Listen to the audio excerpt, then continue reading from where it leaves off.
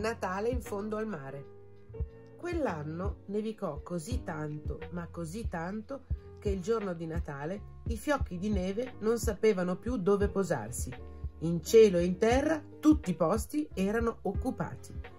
I tetti delle case erano diventati più alti delle case stesse, i pupazzi di neve più alti degli alberi. Gli alberi toccavano il cielo. I fiocchi di neve erano tanto stanchi dove andare a posarsi e riposare un po'. Solo sulla superficie del mare di posto libero ce n'era tanto e allora tutti i fiocchi di neve quel Natale andarono a cadere là. Il mare li vide così stanchi che impietosito, invece di scioglierli, li lasciò passare. E fu così che, spettacolo meraviglioso, per la prima volta al mondo nevicò sul fondo del mare. I pesci guardavano incantati quei puntini bianchi che cadevano e cadevano a mille e a mille. Che pesce sei? Da dove vieni? chiese un pesciolino a un fiocco, ma il fiocco non rispose. Che pesce sei? Da dove vieni? chiese allora ad un altro fiocco, ma anche questo fiocco non rispose, essendo la neve più muta del più muto dei pesci. Cosa importa chi sono e da dove vengo? Disse un grande pesce-cane. Li divorerò. Cosa importa chi sono e da dove vengono? disse un grande pesce-cane. Li divorerò tutti in un boccone. Spalancò la sua enorme bocca e poi la richiuse così violentemente che i denti superiori e i denti inferiori si scontrarono tra loro e andarono tutti in mille pezzi.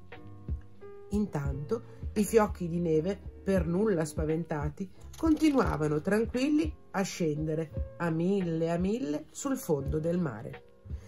Ed ecco arrivare una vecchia balena. Lei sapeva chi era e da dove veniva la neve quante volte l'aveva vista scendere dal cielo su piccole barche, dal cielo su grandi navi, nei giorni e nelle notti invernali. La vecchia balena spiegò ai pesci cosa fosse la neve.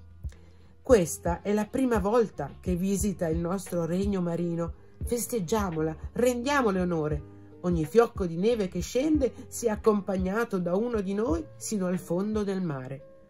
E così fu un turbinio festoso di pesci e di pesciolini, di ogni forma e di ogni colore, si affiancò ai fiocchi di neve, come in una danza. Cavallucce, meduse, e ricci e polipini, e ostriche e delfini e tutte le altre bellissime creature del mare danzarono con la neve per giorni e giorni. Per giorni e giorni il pesciolino che non aveva ascoltato le spiegazioni della vecchia balena continuò a chiedere a tutti i fiocchi che pesce sei? Da dove vieni? Ma nessun fiocco gli rispose, essendo la neve più muta del più muto dei pesci. Per giorni e giorni nevicò, infine non nevicò più. Tutto si fermò.